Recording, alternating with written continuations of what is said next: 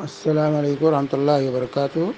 بسم اللہ الرحمن الرحیم، الحمد للہ رب العالمین، والصلاة والسلام علی خاتم الانبیاء والمرسلین وعلی آلہ وصحبہ اجمعین، اما بعد۔ یہاں پر ایک بہن کا سوال ہے کہ الحرم اسلامک اکیڈمی صحیح عقیدے پر قائم ہے آپ کچھ جانتے ہیں اس کے بارے میں؟ مجھے کچھ نہیں معلوم۔ الحرم اکیڈمی اسلامک اکیڈمی کے بارے میں میرے پاس کوئی تفصیلات نہیں ہیں، مجھے اس کا علم نہیں ہے، اس لیے میں